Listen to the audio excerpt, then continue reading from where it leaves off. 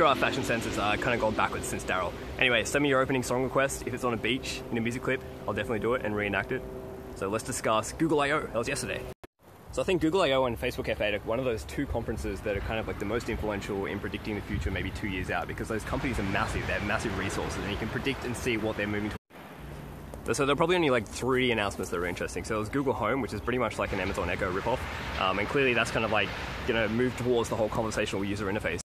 I'm actually surprised Google didn't move on that earlier. I mean, the Amazon Echo has been going gangbusters. They've been selling so many of those, and yet I think Google probably has a better technology for conversational user interface and machine learning to actually take it to the next level. So what I like to do is with every new technology news is kind of extrapolate it out and look at where it's going. Um, I see a lot of tech articles and blogs and futurists pretty much just report the news and then not go any further.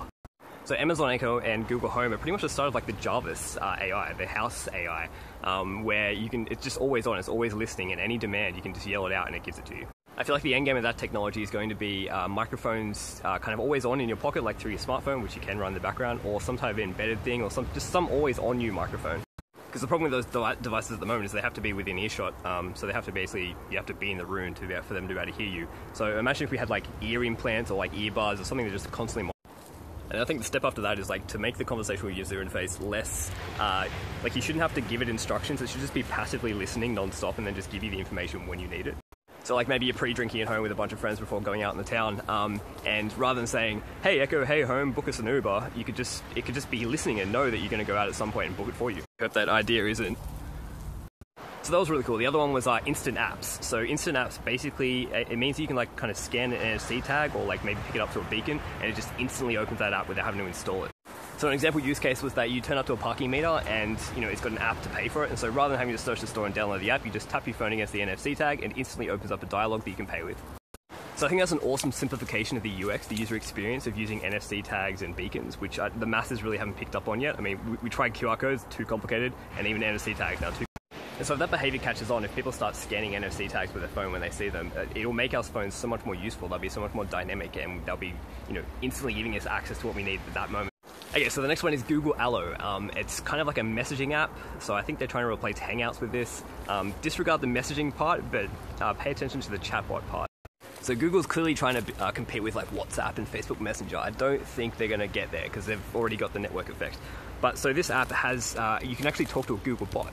If you go look at some of the example GIFs, um, so the Google bot's kind of like just sitting in the background listening to your conversation. So you're having a conversation with a mate and you're like, or your girlfriend or whatever, and you're like, let's go get Thai food and then instantly Allo or the Google bot suggests a bunch of restaurants nearby and shows them up in a carousel. So you can very quickly kind of pull in almost like search results and local search results and any other data into that chat window.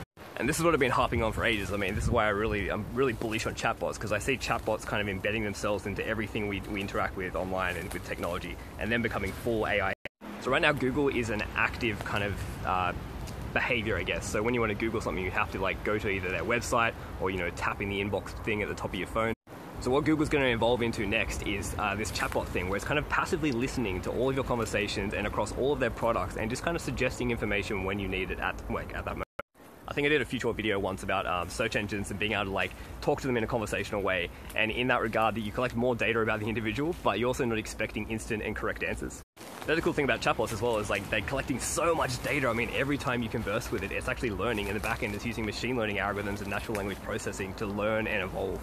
I think a really interesting play by Google might be to actually, um, in one of their future Android versions, just by default upgrade everyone so that their home screen is naturally a message window. Yeah. I mean, this is the play that Facebook Messenger is going after, where you can basically replace all apps with, with just Facebook Messenger and get all the information and all the data and, and connect with all your friends, do everything through that one app. But Android actually has way more users than Facebook, so this is the play they should do. They should just like make Android the chat interface when you first open it up. No apps, none of that crap. It's just all embedded in, a, in an evolved chat.